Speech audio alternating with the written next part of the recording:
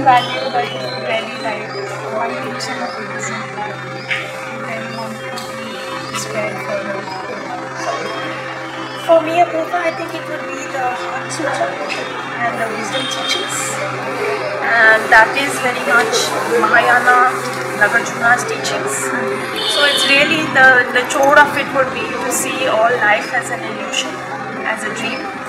I think we get so caught up in the drama, but actually they give the analogy it's like a movie and you cry and all the actors and you think it's real, but actually, so Buddhism in that sense, it's very, very appealing because this is just philosophy. And of course, the other wing of Buddhism is bodhicitta.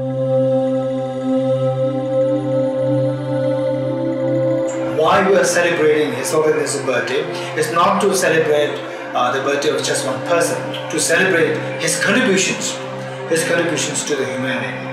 So his contributions are his thoughts, his sentiments, his thoughts.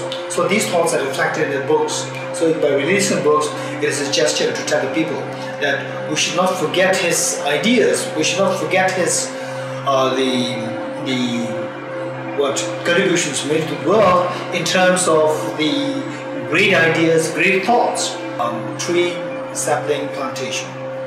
So that is also another part of His Holiness the Dalai Lama's contribution. His Holiness he works so much on the, the green, to promote green, uh, to, to promote the environment, the health of the environment, ecology. Make things simple.